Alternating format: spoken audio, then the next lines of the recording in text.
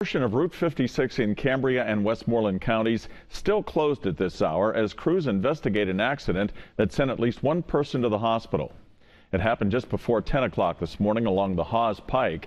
Police say a man was hit by an oncoming car as he was walking along the roadway. When we got there, traffic was being turned around as emergency crews taped off the scene. The car involved was still on the road. Its windshield smashed. There's no word if anyone in the car was hurt. Local police on scene turned the investigation over to state police in Greensburg because it happened just across the Cambria County line into Westmoreland County. State police are currently on scene reconstructing the accident to figure out what happened. In the meantime, motorists are being detoured to Route 403, the Kramer Pike.